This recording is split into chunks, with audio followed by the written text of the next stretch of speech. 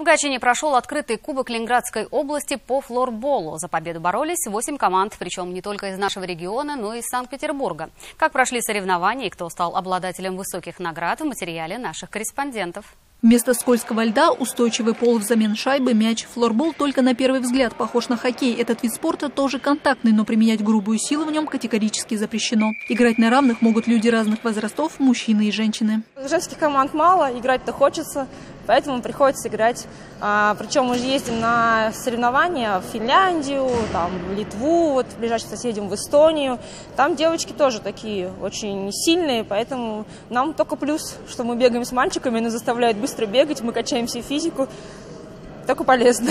Набрать отдельно женские команды организаторы соревнований не смогли. Пока в России флорбол не так популярен, как за рубежом. При этом Ленинградская область была и остается одним из пяти регионов нашей страны, где этот вид спорта развивается наиболее интенсивно. И если для любителей прошедшее соревнование приятное времяпрепровождение, для профессионалов очередная тренировка. Роман Дружининский занимается флорболом почти 20 лет. Сейчас является игроком команды «Арена» и членом сборной России. Он единственный, кто представляет в ней Ленинградскую область.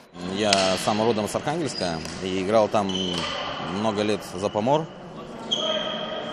Так что там, э, как сказать, и первые места, можно сказать, постоянно были.